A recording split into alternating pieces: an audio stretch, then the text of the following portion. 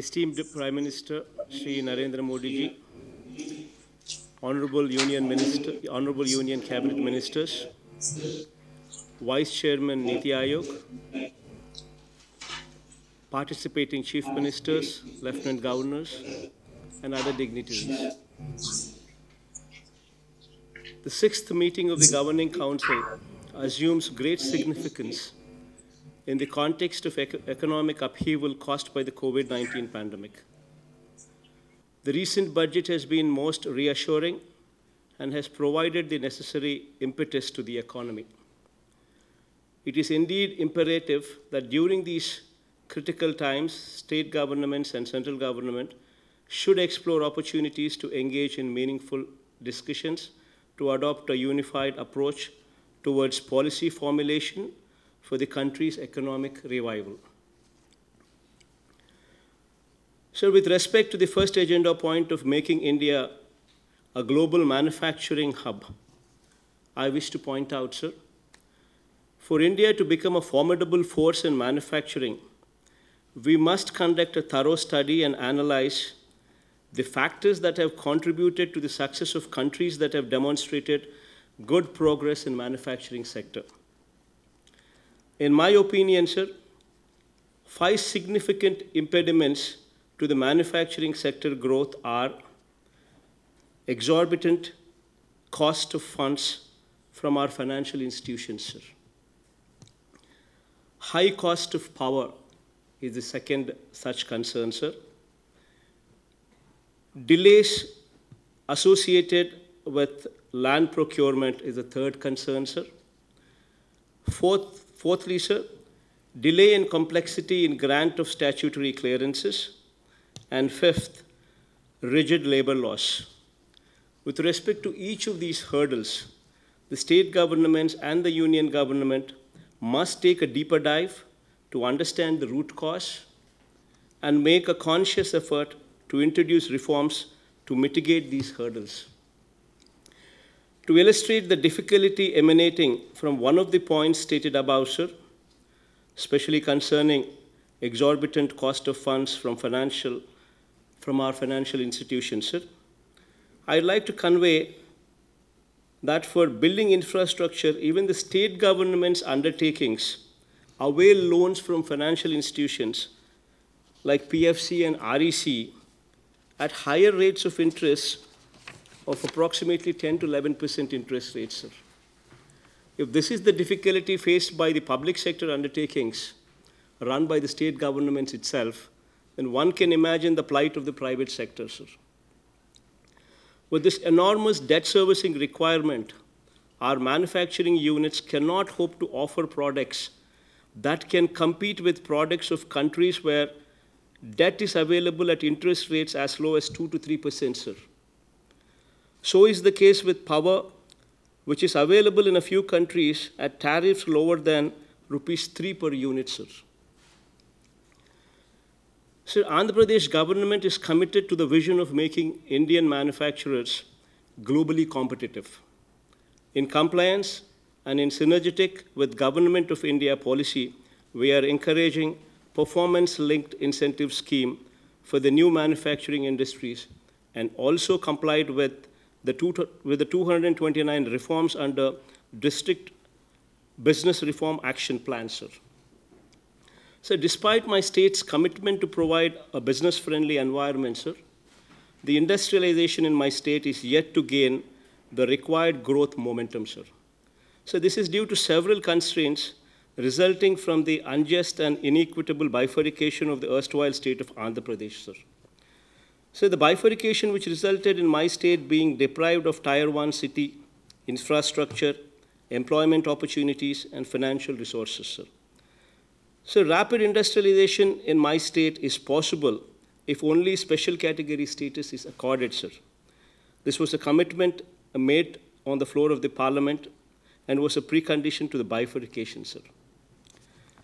Sir, having said this, sir, moving to the second point in the agenda, sir, reimagining agriculture, sir.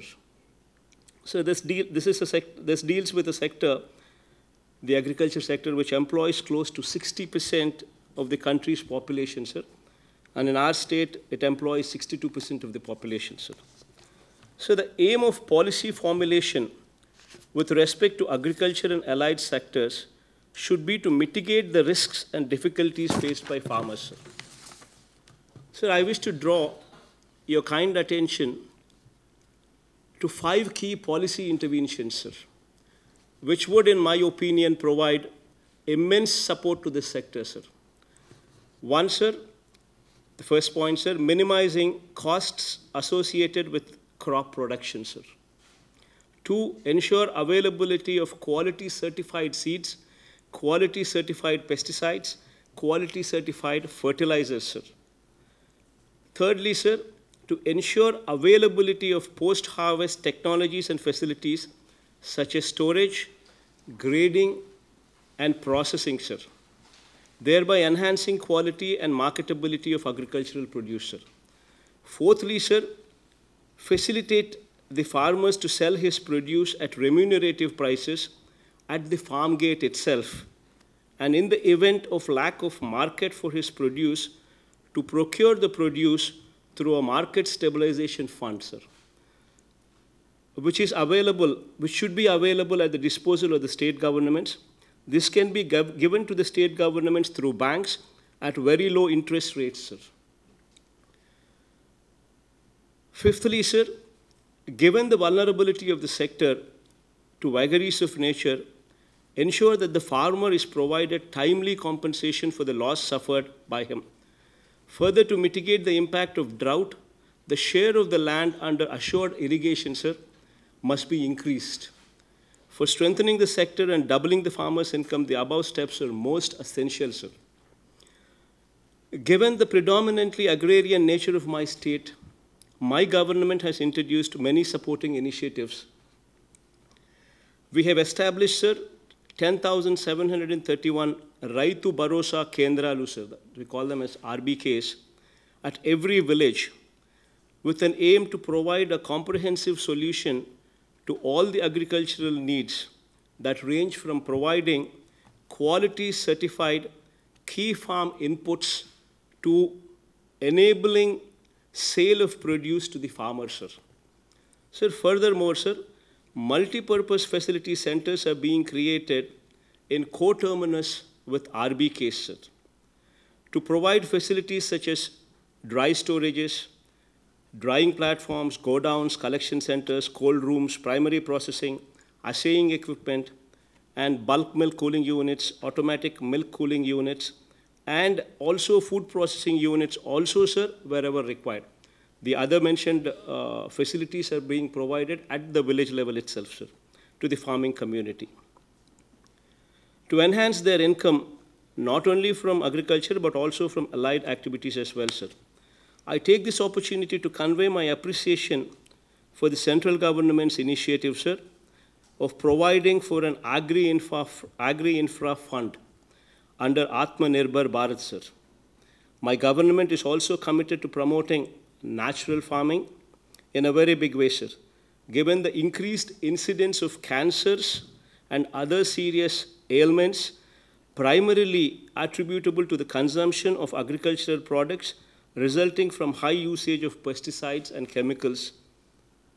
Sir, we are also of the firm belief that natural farming would result in rejuvenation of soil health, sir. So my government has taken up large-scale program of promoting natural farming in every RBK, in every village through this, sir. So specific to my state, sir, to provide sustainable irrigation, I would like to humbly request you, humbly request your support for quick approval of revised cost estimates and timely completion of the Polavaram irrigation project, sir. Declared as a national project, the project is regarded as my state's lifeline, and the completion of the same would contribute significantly to the increase in irrigated area in my state, sir.